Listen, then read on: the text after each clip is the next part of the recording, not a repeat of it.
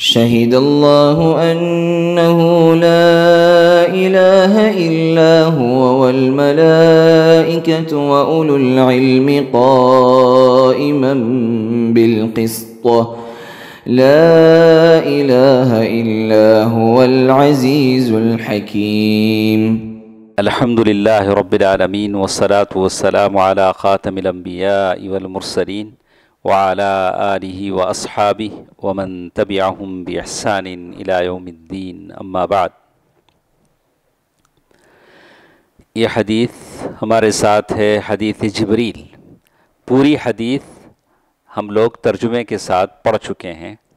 तो साहब किताब का तरीक़ा यह है कि हदीस के बाज़ कलिमात का ये शरह करते जाते हैं। हदीस के किन किन कलिमात से क्या क्या इसकी शरह आती है? क्या क्या मसाइल इससे मुस्तमत होते हैं? इसी का ज़िक्र करते हैं।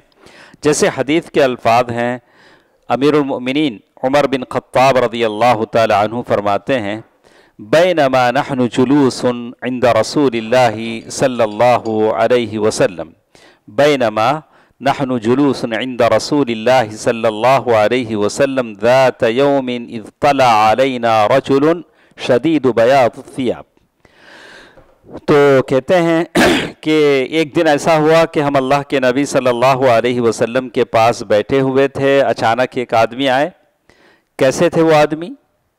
बहुत सफ़ेद कपड़े पहने हुए थे और उनके बाल बहुत सियाह थे, काले थे, माशाल्लाह। ला युरा अलैहि अथर सफ़र, उन पर सफ़र के कोई निशानात भी नहीं थे। वला यारिफुहु मिन्ना अहद। और हम में से कोई उनको जानता भी नहीं था। तो जहाँ तक इनका मसला है, मैं जानता नहीं था बात अलग। अमीर मोमिन ने क्या कहा? हम में से कोई जानता नहीं था। तो क्या सारों ने बताया था कि हमको भी नहीं मालूम? अंदाजे से बोले हैं।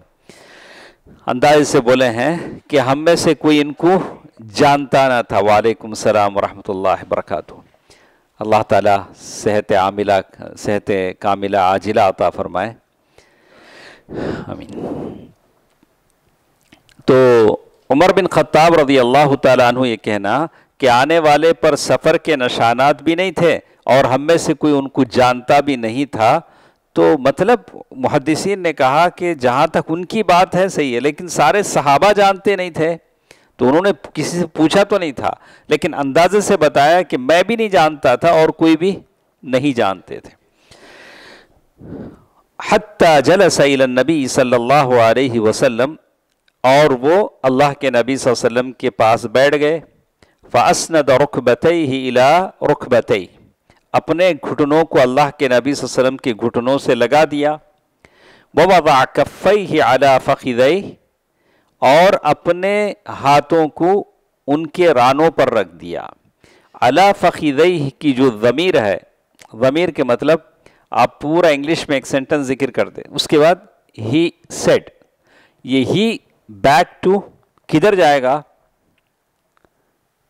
जो फ़र्स्ट जो नाउन है, उधर जाएगा। अरबी में भी ऐसा ही।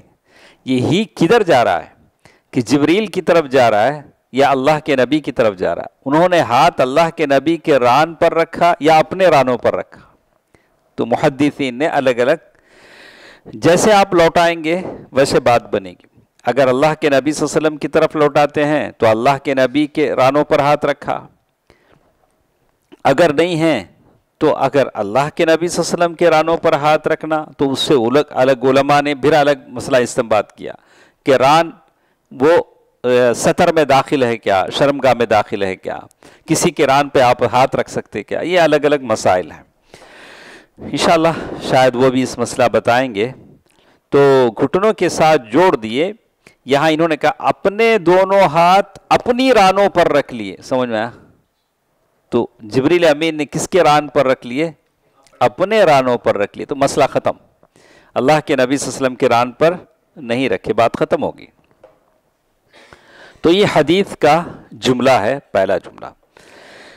तो इसमें इन्होंने एक टॉपिक जो ज़िमनी जो, इसके जो एडिशनल टॉपिक जो मौजू जो बनाया है, रसूलुल्लाह सल्लल्लाहु अलैहि वसल्लम की तवाज़, simplicity of prophet Mohammad सल्लल्लाहु अलैहि वसल्लम। सिंपल सिटी बोले तो? सादगी तवादो तवादो आजिजी, इनके मुनकसरुल मिजाज। नहीं यहाँ बैठोगे तो बैठ जाएँगे नीचे बैठोगे तो बैठ जाएँगे। क्या भी दो खा लेंगे। नहीं नहीं मैं वहाँ बैठता हूँ मैं यज खाता हूँ मैं यहाँ ऐसा सब नहीं।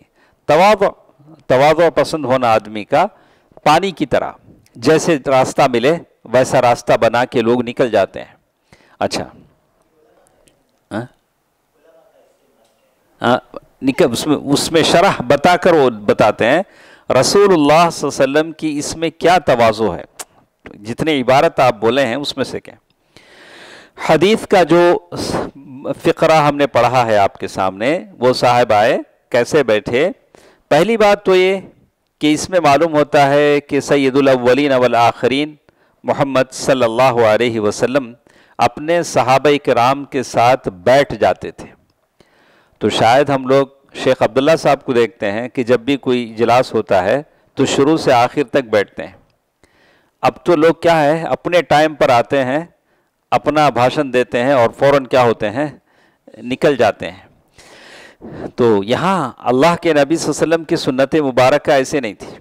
अल्लाह के नबी वसल्लम बैठते थे। साहब कराम के साथ क्या होते थे? बैठते थे। तो आप वसल्लम की तवादो, अपने साथियों के साथ इंतहाई शफक़त और मोहब्बत की दलील है। कैसे बैठते थे? साहब कराम रिजवान मजमाइन की आज़मत और सदत भी इससे मालूम होती है कि इमामबिया सहाबा के साथ बैठे हैं। दोनों को शर्फ है। अल्लाह के नबी वसल्लम का वहाँ बैठना साहब कराम के लिए शर्फ का बायत है। तो पहली बात तो ये मालूम हुई कि ओलमा को अपने शागिर्दों के साथ क्या होना चाहिए? बैठना चाहिए। वैसे नहीं, जैसे बड़े बड़े लोग आते हैं, वो नाचने वाले, गाने वाले थोड़ी देर के लिए आते हैं, कुछ मस्करापन करते हैं, गायब हो जाते हैं। तो लेकिन जो सलफ़ी ओलमा हैं, मनहज सलफ़ के ये हैं, वो अपने शागिर्दों के साथ क्या करते हैं? बैठते हैं, उनकी बातें सुनते हैं, उनके सवालात, शकूक शुबहत ये सारी चीज़ें दूर करते हैं। ये ओलमा का सही ये है। उसके बाद एक और चीज़ जिसका इन्होंने ज़िक्र किया है, तालब इल्म। के ये आदाब होते हैं, इल्म हासिल करने वाला। तालब इल्म किसे बोलते हैं? जो इल्म हासिल करना, उसके भी आदाब होते हैं। तो यहाँ एक चीज़, ये इन्होंने ज़िक्र किया है कि शेख अपने तलबा के साथ बैठे, शेख को चाहिए कि वो अपने तलबा के साथ बैठे, और साथ साथ क्या करे? उनका इन्होंने यहाँ ज़िक्र किया है, शेख ये करेंगे, और बैठकर अपने तलबा को इल्म दे, जो कुछ उसने जाना है। और ये बैठना रसूलुल्लाह वसल्लम की सुन्नत के मुताबिक होगा, और यही नीयत शेख और उसके तलामिदा को मुस्तहदिर होनी चाहिए। यानी जब बैठेंगे तो शेख की भी नीयत हो कि मैं, जो इल्म मुझे मालूम है, मैं अपने तलबा को दूँ। तलबा की नीयत हो कि हम इल्म हासिल करें, जब भी बैठें, हँसी मज़ाक के लिए नहीं, किसी और इसके लिए नहीं, इल्म देने और लेने के लिए बैठें तो यहाँ एक अदब की निशानदही और भी ज़रूरी है कि शेख अपने तलबतुल इल्म को वक्त दे। क्या दे? जो टाइम दे सकता है, वो टाइम दे। और तलबा के दरमियान बैठे तो गैर ज़रूरी बातें ना करें। कल के दर्स में हमने पढ़ा कि चलते चलते भी सवाल शेख से कर सकते हैं। चलते चलते भी शेख जवाब दे सकते हैं। जैसे मदीने में हम देखते थे मशाइ को शेख अब्दुलरजाक अब्बाद हैं, शेख, उनके अब्बा शेख अब्दुल मोहसिन अब्बाद हैं। पूरा मस्जिद नबी से निकलेंगे तो कार तक भी तलबा उनके साथ सवाल करते जाएँगे, वो जवाब देते जाएँगे। उनको कोई उसमें खिफत महसूस नहीं होगी। और इसी तरह एक और चीज़ उन्होंने कहा कि लेकिन तलबा उस्ताद से जो सवाल करेंगे, ज़रूरत के मुताबिक सवाल करेंगे। पहले ऐसे सवाल होते थे, टोपी पहन कर नमाज़ पढ़ना कि नहीं पढ़ना, अब ज़रा कम हो गया है। हाँ अब ज़रा कम हो गया है, लोग ज़रे शाने हो गए हैं, अब वैसे सवाल नहीं आते हैं। अब यहाँ देखिए, इस यहाँ जो सवाल जबरील अमीन ने किए हैं, वो कैसे सवाल हैं? ज़रूरत दीन के ताल्लुक से सिर्फ़ चंद सवालों पर इक्तफा किया और वापस चले गए जबरील अमीन। खला मल इस्लाम मल ईमान मल एहसान अशरात ये सारी चंद बेसिक सवालात किए और उसके बाद जबरील अमीन क्या गए चले गए और अल्लाह के नबी ने कहा कि जबरील है अताकुम युअल्लिमुकुम दीनकुम जो तुम्हारा दीन सिखाने के लिए आए बात समझ में आएगी ठीक है तो तलबा को चाहिए कि अपने शेख का वक्त और आराम का पूरा पूरा ख्याल रखें तो इन्हीं के शेख मिल गए तो चलो अब उनको हाँ बोला कि शेख कहीं सफ़र से वापस आए हैं थके हुए हैं तो उनको आराम का वक्त दें, जब अच्छी तरह ये हो जाए तो उनसे क्या करें? पूछ लें। तो एक और चीज़ जिसका इन्होंने ज़िक्र किया है, अगर शेख की बैठने के लिए, अगर ऊँची कुर्सी अगर डाल दी जाए, अच्छी बात है, अच्छी बात है, और ये सुन्नत से साबित है तो जैसे सुन अबू दाऊद में अबू दर गफ़ारी रज़ी अल्लाह अबू हुरैरा रज़ी अल्लाह तहुमा की हदीत है, अल्लाह के नबी सल्लल्लाहु अलैहि वसल्लम पहले क्या होता था? अब किसी इम्तियाज़ के बगैर बैठा करते थे। यानी अल्लाह के नबी वसल्लम बैठते थे, कोई फ़र्क नहीं था। तो यहाँ तक कि कोई आदमी आता, कोई आदमी आता तो वो अल्लाह के नबी वसल्लम को पहचान नहीं पाता। बोलता, मम मिन कुम मोहम्मद सल्लल्लाहु अलैहि वसल्लम।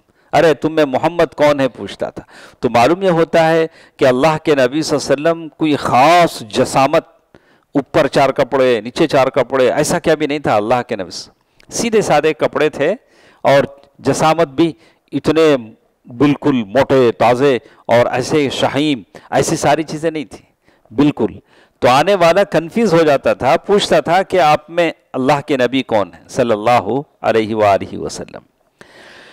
फतलबना इला नजअल लहु मजलिसन यारिफुहुल गरीब इदा अता तो कहते हैं कि हमने अल्लाह के नबी सल्लल्लाहु अलैहि वसल्लम से गुजारिश की कि अगर हम आपके लिए एक अलग ऊँची कुर्सी बना दें, नशिस्त बना दें, आप उस पर बैठें तो आने वाला अजनबी अजनबी बोले तो स्ट्रेंजर आने वाला अजनबी आपको क्या करे? फ़ौरन पहचान ले, फ़ौरन पहचान ले। तो तो हमने मिट्टी का एक चबूतरा बना दिया। अब उस जमाने में तो एग्जीक्यूटिव चेयर नहीं था। तो क्या किया उन्होंने? मिट्टी का एक चबूतरा बना दिया। अगर होता तो साहब कराम हाँ अगर अल्लाह के नबी इजाज़त देते, जिन्होंने अपनी जानें दी, वो सब कुछ कर सकते थे। लेकिन क्या किया उन्होंने? सिर्फ़ मिट्टी का एक चबूतरा बना दिया और रसूलुल्लाह वसल्लम उस पर बैठते थे और साहब कराम अतराफ बैठ जाते थे। सल्लल्लाहु वसल्लम। इसे साबित ये हुआ कि उस्ताद के लिए, शेख के लिए ऊँची कुर्सी का इंतज़ाम अच्छी बात है। जैसे हम हरम में देखते हैं, सारे मशाइ के लिए ऊँची ऊँची कुर्सियाँ बनी हुई रहती हैं, ताकि वो पहचाना जा सके और तमाम हाजरीन उसको देख सकें। अब छोटी कुर्सी बिठाएँ शेख, दिखते नहीं, कहाँ है वो? अगर ऊँचा अगर आप हैं तो ये नहीं कि हम बस हमें उनके इल्म से फ़ायदा उठाना है, ऊँचा रहेंगे तो बोलेंगे, सारे उनकी बात सुनेंगे। तो मालूम यह हुआ, इससे सारे मसाइल हमारे समझ में आते हैं। और इसी तरह एक बात हुई, इसमें ये सारी सारी बातों में एक ही बात कॉमन है, अल्लाह के नबी वसल्लम की सिंपलिसिटी तवादो दूसरी बात इस हदीस में जो बात मालूम हुई कि फरिश्ते इंसानी रूप धार सकते हैं। हाँ? फरिश्ते गैबी मखलूक हैं। अल्लाह ताला ने नूर से पैदा किया है। आपने कभी देखा है फरिश्तों को? फरिश्ते दिखाई नहीं देते हैं। गैबी मखलूक हैं। लेकिन उनके बारे में कहा कि फरिश्ते वो बशरियत का रूप धार सकते हैं। इसमें ज़िक्र है कि जबरील अमीन इंसानी रूप में अल्लाह के नबी वसल्लम के पास आए। अल्लाह कुरान मजीद में भी ज़िक्र है कि लूत सलाम के पास फरिश्ते आए नहीं। फरिश्ते आए, इंसानी रूप में आए, इंसानी रूप में आए। तो इसी तरह इब्राहिम सलाम के पास फरिश्ते आए, इंसानी रूप में आए। इब्राहिम सलाम जल्द गए वैफ़ी इब्राहिम फ़क़ालू सलामा क़ौमुन मुनकरून। फराग इला अहलिही फजाअ बिइजलिन समीन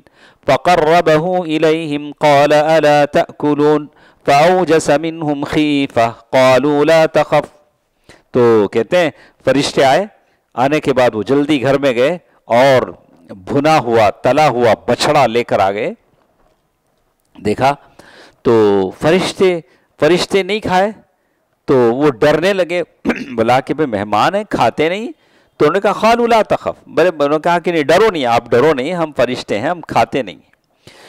तो इससे मालूम हुआ कि फरिश्ते इंसानी रूप धार कर आते हैं, और उसी तरह आपको मालूम है कि जैसे अल्लाह ताला ने अपने मखलूक़ात में से जिनों को ताकत बख्शी है कि वो सांप का रूप धार सकते हैं, जिन सांप का रूप धार सकते हैं, और अल्लाह ताला ने दिया है, और इसी तरह शैतान इंसानी रूप भी ढार सकता है।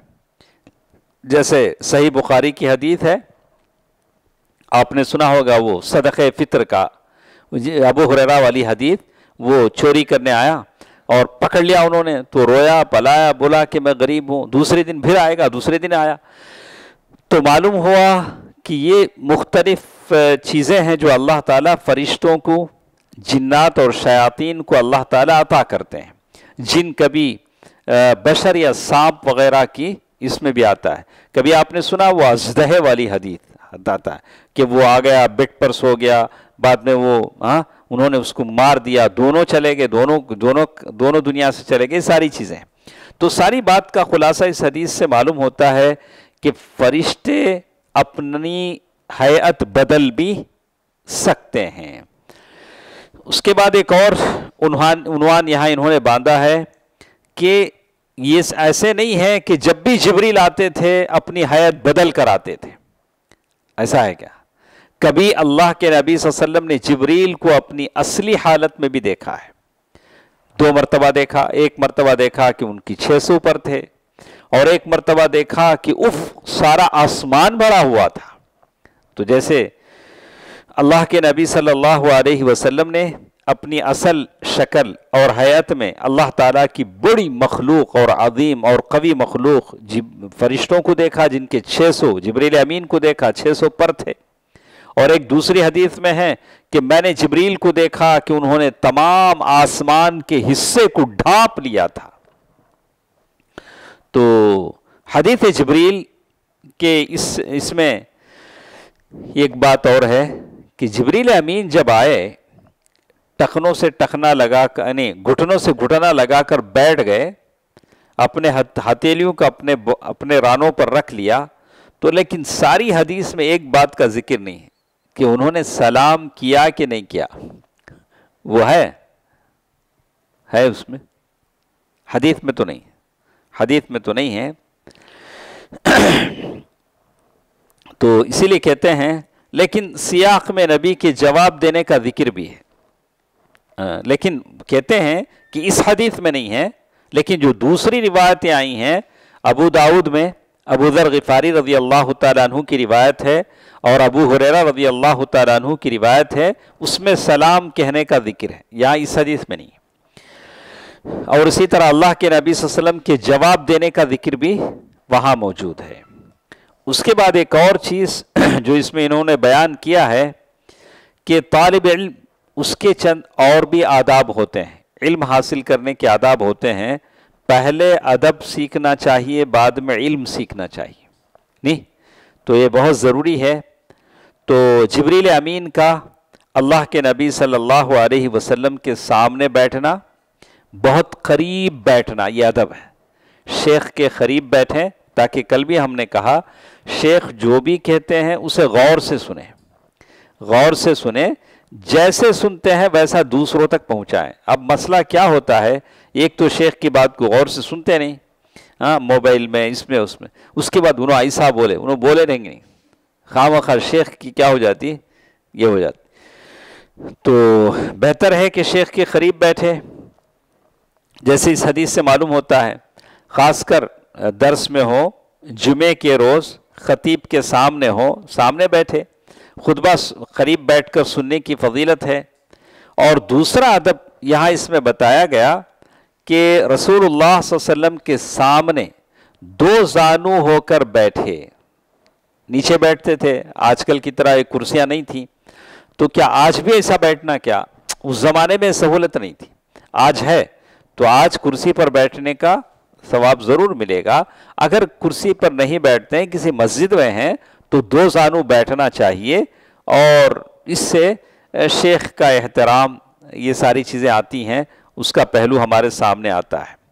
उसके बाद जैसे मैंने आपको पहले कहा कि जबरील अमीन ने अपने हाथ अपने घुटनों पर रखे या नबी के घुटनों पर रखे। इस हदीस में क्या है? अपने घुटनों पर रखे। अला फ़कीदई लेकिन एक सवाल इन्होंने किया है आप उसका जवाब दें। तो कहते हैं, इस मसले में उलमा के दोनों तरह के अखवाल मिलते हैं। कैसे मैंने कहा कि वो ज़मीर जिसकी तरफ़ जाएगी, जैसे मैंने कहा ही सेड उससे पहले जो नाउन होगा, उसी की तरफ़ ही लौटेगा। तो उलमा दो तरह की बातें कहते हैं। इमाम नववी रहमहुल्लाह ने सही मुस्लिम की शरह में सराहत की है। कि उन्होंने अपने घुटनों पर हाथ रखे थे। जबरील अमीन ने किसे घुटनों पर हाथ रखे थे? अपने घुटनों पर। जबकि हाफिज इबन हजर असकलानी रहमहुल्लाह ने सही बुखारी की शरह में कुछ रिवायात नकल की हैं, जिनसे साबित होता है कि उन्होंने नबी के घुटनों पर हाथ रखे थे। यहाँ शेख क्या बोलते देखिए। तुम रकबत नबी और साथ कहते हैं, यही राजह मालूम होता है। राजह क्या है? राजह बोले तो? हाँ? हाँ मोस्ट राजह मरजूह, दो चीज़ें होती हैं। ज़्यादा सपोर्ट किस तरफ़ जाता है? अल्लाह के नबी के घुटनों पर हाथ रखे थे। सल्लल्लाहु अलैहि वारी वसल्लम। अब सवाल ये पैदा होता है कि क्या तालिब इल्म को अपने शेख के घुटनों पर हाथ रखना चाहिए? जैसे बहुत सारे लोग, शेख सर देना नहीं चाहते, शेख का सर ज़बरदस्ती पकड़ को हाँ इधर बोसा दे रहे हैं, उधर बोसा दे रहे हैं। अरे शेख से इजाज़त लो कि हम, मैं आपका सर का बोसा, पिशानी का बोसा लेना चाहता हूँ। हाँ आप ज़बरदस्ती पकड़ें अरे शेख हैं तो ऐसा तो नहीं करना चाहिए ना। तो ऐसा कई लोगों को देखा मैंने, बड़ा ताजुब भी हुआ।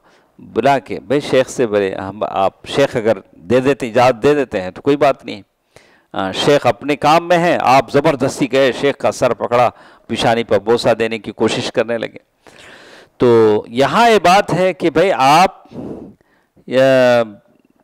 अल्लाह के नबी वसल्लम, यहाँ इन्होंने सवाल ये रखा, क्या तालिब इल्म को अपने शेख के घुटनों पर हाथ रखना चाहिए? जवाब नहीं। जवाब क्या दिया?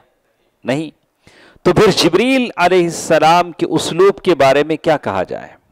फिर जबरील अलैहिस्सलाम ने ऐसा क्यों किया?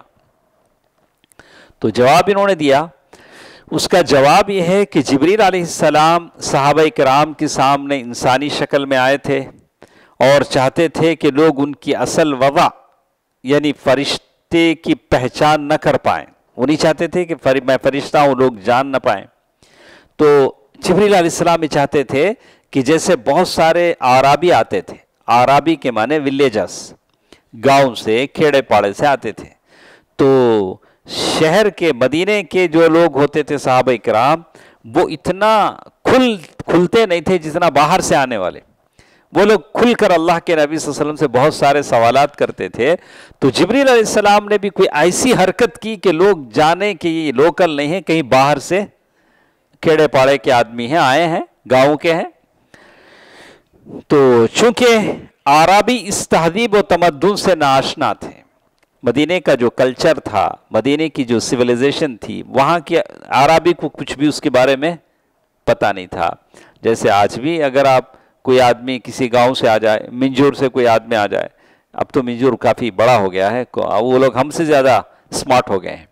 कोई और बस्ती, झाड़ी की बस्ती, किसी और गाँव तो उनकी हयात देखकर आप पहचान लेंगे, ज़ोर से बात करेंगे हाँ अजीब अजीब हरकतें करेंगे। हमको समझ लेना चाहिए कि वो गाँव से ही सो हाँ तो बहरहाल तो यहाँ ये बात बताई गई कि जो आम तौर पर शहरियों में पाई जाती है, लिहाजा बाज़ अवकात उनके रवैये में दुरुस्तगी होती है। उनका जो रवैया होता है, वो रवैया ज़रा सख्त होता, बात सख्ती से करेंगे, ज़ोर से बोलेंगे, ऐसा होता है। तो जबरील सलाम ने कुछ ऐसे अफ़ाल का मुजाहरा किया जिनसे उन्हें ऐसा ही आरा भी समझा जाए। साहब कराम पहचान न पाए, बोले कि किसी गाँव से आए हैं। मसलन, कैसे? जबरील अमीन आए तो बेहतर होता वहीं बैठ जाते, लेकिन जबरील अमीन आते आते सारों को गर्दने फुला के ज़रा सबको हटा हटा को सीधा आए। तो मतलब था कि लगता है यहाँ के आदमी नहीं है। कहीं बाहर से आए हैं और करीब पहुँच गए और अपने हाथों का नबी के घुटनों पर रख देना और गुफ्तगु का आगाज़ भी किया तो कहा, या रसूल अल्लाह ऐसे बोले। उनको बोलना चाहिए था, या मोहम्मद या रसूल या रसूल अल्लाह की बजाय उन्होंने कहा, या मोहम्मद, उनको कहना क्या चाहिए था, या रसूल अल्लाह सामने अल्लाह के नबी हैं, लेकिन उन्होंने क्या कहा, या मोहम्मद और हमने कल के दर्स में बताया कि अल्लाह के नबी वसल्लम को नाम लेकर उसी वक्त आप बुला सकते हैं जब नबी की तारीफ़ मकसूद हो। कोई पूछे कि अल्लाह हाँ? तो अगर कोई पूछा, अगर कोई पूछना चाहे कि मोहम्मद कौन है सल्लल्लाहु अलैहि वसल्लम तब वरना जैसे कुरान ने ज़िक्र किया, या युहल मुजम्मिल, या युहल मुद्दसिर या युहन नबी हाँ? कभी नाम लेकर नहीं कहा, वैसे आदमी कहेगा, या युहर रसूल बल्लिगमा उनजिर के रब तो या मोहम्मद कहकर उन्होंने खिताब किया, जैसे आराबी उस जमाने में करते थे। क्यों ऐसे सारे काम इन्होंने किए? ताकि लोग पहचान न पाए कि ये जबरील अमीन है। तो और जबरील अमीन ऐसा इसलिए चाहते थे कि लोग उन्हें हकीकी साइल समझें। लोग भी समझें कि इन्हों सही भी इन्हों क्या सवाल करने आए हैं। इन्हों जो सवाल करते हैं, बिल्कुल सही सवाल करते हैं, इनको सवाल की ज़रूरत है। तो और उनकी जवाबों को गौर से सुने हाँ? अगर उन्हें ऐसा कोई असर मिल जाता जिससे लोग उनकी हकीकत तो शायद उस, उसी हकीकत में गौर वौस करते रहते। तो कहते हैं, अगर कोई क्लू उनको मिल जाता कि इनो इंसान नहीं सर का दिखते हैं, जबरेल अमीन सर का दिखते हैं या कोई फरिश्त तो सवाल और जवाब पर गौर करने के बजाय किस पर गौर करना शुरू कर देते हैं? उन पर। जैसे किसी शेख से हमें इल्म लेना है, शेख टोपी कैसा पहने शेरवानी कैसा पहने अगर इसी पर आदमी गौर कर लेता है तो उनके इल्म से वो क्या भी फ़ायदा नहीं उठा सकेगा। उसके इल्म से क्या भी उसे फ़ायदा नहीं होगा। तो इससे बात मालूम होती है कि किसी बड़े मकसद को हासिल करने के लिए तौरिया जायज़ है। कोई बड़ा मकसद हासिल करने के लिए हकीकत को आप थोड़ा हिडन में रख सकते हैं, छुपा सकते हैं। तो यहाँ हसल मकसद क्या है? सवाल जवाब का जानना। दीन की शक्ल में साहब कराम का उसे समझना। अच्छा समझ में आई नहीं है बात? सारी बातें समझ में आई? क्यों जिबरील अमीन ने ऐसा किया? समझ में आ गया? अकरम साहब? अच्छा। उसके बाद एक और यहाँ इन्होंने ये किया कि और भी आदाब हैं। शेख से इल्म हासिल करने के और भी आदाब हैं, ऐसे लड़ाई वगैरह ना की जाए। खामोश है सुनाई, सुना जाए कि क्या हम सुन रहे हैं। अच्छा जबरील सलाम के आने और बैठने के अंदाज से एक नुक्ता और भी हासिल होता है कि ऐसे मौके पर शेख को सब्र तहमुल का मुजाहरा करना चाहिए। सामने लोग कितना भी किंडला कर लें। शेख क्या करना? सबर से क्या करना? सबर का मुजाहरा करना, देखते रहना। हाँ मैं एक साहब ऐसे जुम्मा दे वो सामने उनकी टोपी नहीं पहन को जुमा जुमा देते देते टोपी पहन का कोई सो रहा है, उसे डांट रहे हैं। हाँ बोला कि ऐसा तो नहीं होता है। हो सकता है, लेकिन उससे कुछ फ़ायदा होने वाला नहीं। तो यहाँ ये बात बताते हैं कि जबरील अलैहिस्सलाम के आने और बैठने के अंदाज से एक नुक्ता ये भी हासिल होता है कि ऐसे मौके पर अब कैसे आए जबरील अमीन? गर्दनें फुलानते हुए सीधे अल्लाह के नबी वसल्लम के करीब पहुँच रहे हैं। तो वैसे मौके पर शेख को क्या करना चाहिए? सब्र करना चाहिए, जैसे अल्लाह के नबी वसल्लम क्या करें हैं? सब्र करें हैं। वरना आजकल का कोई खतीब होता तो फ़ौरन बोल था भाई, वहाँ बैठो ना भाई, कैसा आप गर्दना फुलांग फुलांग के आते हैं? तो लेकिन अल्लाह के नबी वसल्लम ने सब्र और हिल्म और तहमुल का मुजाहरा किया। तो किसी शागिर से इस तरह का कोई हो जाए तो क्या करना चाहिए? सब्र करना चाहिए। तो लेकिन बाद में उस तालिब इल्म को नसीहत भी देनी चाहिए। एक और चीज़, एक बयान कहते हैं कि एक सवाल और पैदा होता है कि दीन की ये तमाम बातें जबरील सलाम ने खुद ही क्यों न बतला दी? जबरील सलाम जब दीन सिखाने के लिए आए थे तो जबरील सलाम ने खुद ही क्यों नहीं बता दिया? ऐसा क्यों किया कि अल्लाह के नबी से पूछ रहे हैं? अल्लाह के नबी जवाब दे रहे हैं और ख़ुद कह रहे हैं कि हाँ आपने ठीक कहा। अगर आपको बताना ही था तो आप खुद बता देते। तो उसका जवाब इन्होंने दिया कि, वल्लाह आलम, उसका जवाब यह हो सकता है कि जबरील सलाम जब भी वही लाए उसे रसूलुल्लाह वसल्लम ने सुना। जब भी जबरील वही लाते, रसूलुल्लाह वसल्लम ने सुना। लेकिन जब आप इंसानी रूप में तशरीफ़ लाए तो रसूलुल्लाह सल्लल्लाहु अलैहि वसल्लम की इर्द गिर्द साहब इकराम की जमात बैठी हुई थी। नबी अपनी उम्मतियों के साथ तशरीफ़ फरमा था। तो इसीलिए अल्लाह के नबी वसल्लम, जबरील खुद उनसे पूछ रहे हैं, नबी के ज़बानी साहब कराम को सुना रहे हैं। एक और चीज़, यहाँ इन्होंने बयान किया कि रसूलुल्लाह सल्लल्लाहु अलैहि वसल्लम का एक बहुत बड़ा हक है। वो हक क्या है? उम्मतियों की मौजूदगी में नसीहत करने या सवालात के जवाबात देने का अगर किसी को हक बनता है तो वो किसका हक है? नबी सल्लल्लाहु अलैहि वसल्लम का। अगर कोई सवाल करे तो कौन जवाब देंगे? नबी वसल्लम जवाब देंगे। गोया उम्मतियों की मौजूदगी में अमीनुल वही, जिब्रील भी एक साइल बनकर पेश होंगे, मुफ्ती या मुजीब बनकर नहीं। अगर अल्लाह की नबी की मजलिस में जबरील भी आते हैं तो जवाब कौन देंगे? नबी आखिर जमा देंगे। जबरील भी नहीं देंगे। ये वो मकाम है, ये वो मजलिस है जहाँ बोलने की इजाज़त सिर्फ़ किसको है? नबी आखिर जमा को है, सल्लल्लाहु अलैहि वसल्लम। एक ऐसा अदब है, ये ये एक ऐसा अदब है जिसका हर उम्मती के पेश नज़र होना और रहना ज़रूरी है। आज जैसे बच्चे बच्चे भी क्या बोलते हैं? शेख की जबान नहीं खुलती, इनोच पीछे से जवाब डालते तो ऐसा तो नहीं होना चाहिए। हाँ शेख ने पूछा भाई आप बोलो तो आप बोलेंगे। तो जिस तरह रसूलुल्लाह सल्लल्लाहु अलैहि वसल्लम की मौजूदगी में किसी को बात करने या जवाब देने का हक नहीं है, चाहे वो जिबरील ही क्यों ना हो, इसी तरह फरमान रसूल होते हुए किसी को दूसरी बात कहने या जवाब देने का हक हासिल नहीं है। अगर हम कहें कि भाई हदीस में यह है नहीं, हमारे मुफ्ती साहब ऐसा बोले। नहीं बोल सकते। हदीस के होते हुए, आज नबी तो नहीं है, लेकिन क्या है? फरमान रसूल है। फरमान रसूल के होते हुए आप किसी का हवाला नहीं दे सकते हैं। अल्लाह ताला का फरमान है, या युहल्लदीन आमनु ला तुकद्दिमु बैन यद इल्लाहि व रसूली। आयत करीमा बड़ी सराहत से अल्लाह ताला या उसके रसूल से आगे होने या किसी और को आगे करने की ममानियात समझ में आती है हाँ? तो जो खुशनसीब हैं, जो इस बात को समझ जाते हैं, वो दीन की समझ उनको मिल जाती है। जो ये समझते नहीं हैं, वो तकलीद के गढ़े में फंस जाते हैं। वही तकलीद के गढ़े में हाथ पैर मारते रहते हैं।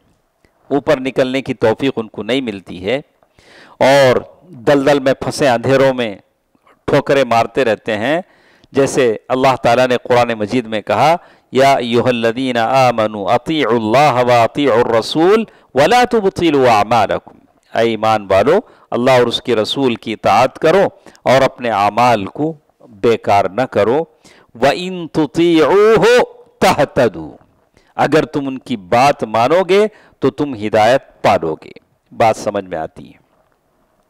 ठीक है। आज के इस दर्स में हमारे साथ इतना ही। इन फिर हम मंगल के दिन बाकी दर्स सुनेंगे। तो इसमें मंगल के दिन सबसे पहले हमारे साथ बात होगी जबरील आसमाम का पहला सवाल इस्लाम के ताल्लुक से था। इस्लाम क्या है? इस्लाम की तारीफ़ क्या है? हाँ? इस्लाम के माने क्या हैं? लगवी माने क्या हैं? इस्तलाही माने क्या हैं? किसी के इस्लाम में आने की क्या शुरूत और दवाबित हैं? कि कोई आदमी इस्लाम से बाहर कब चला जाता है? ये सारी बातें इन अगली मजलिस में हमारे साथ होंगी। और इसी तरह सारी बातें हमारे साथ हैं, ईमान है। फिर इस्लाम और ईमान में क्या फ़र्क है? इस्लाम के माने कहाँ होते हैं? ईमान के इस लंबी बहस है। इन अगले दर्स में हम उसे सुनेंगे। अल्लाह ताला से हम दुआ करते हैं कि इलामीन जो कुछ बातें हमने सुनी हैं, उस पर अमल करने की तोफ़ी अता फरमा। और जो लोग नादान हैं, उन्हीं अल्लाह ताला हम तमाम को इल्म सिखाने, सही इल्म, सही हिदायत से अल्लाह ताला हम सबको नवाज़ दे। अल्लाह ताला हम सबको ऐसा इल्म आता फरमाए जो हमें आखिरत सुधारने की इससे मदद मिले। अल्लाह ताला हम सबको अपनी जन्नत में दाखिला नसीब फरमाए आमीन। वसलम वरहमल वर्का